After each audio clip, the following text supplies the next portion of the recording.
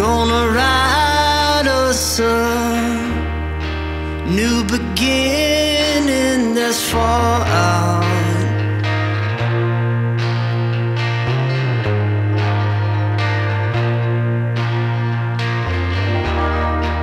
Would you mind if I shared my feelings that's far out?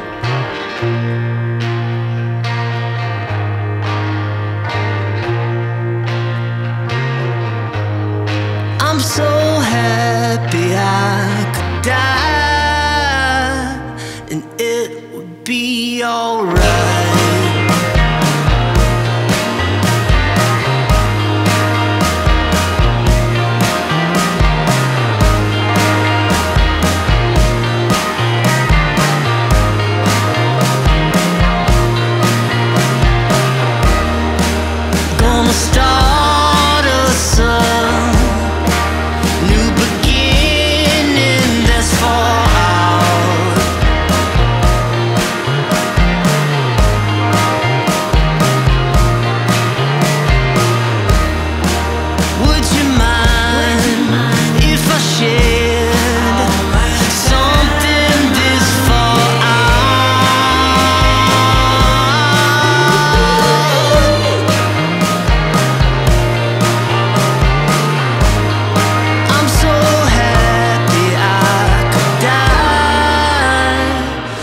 It would be alright.